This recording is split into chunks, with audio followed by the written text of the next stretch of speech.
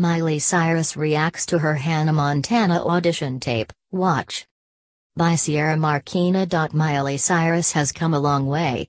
The Malibu singer stopped by Radio Disney on Thursday, May 11, and relived her Hannah Montana audition tape.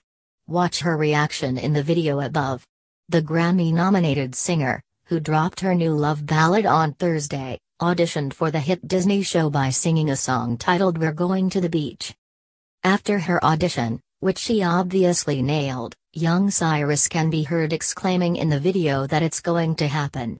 When asked if she's been signed by a label yet. The first time I was ever in this building, which I drove to from Nashville with my mom, I had to sign in at the desk right there and tell them, I'm here for an audition. Cyrus recalled to her pals at Radio Disney after watching the adorable video.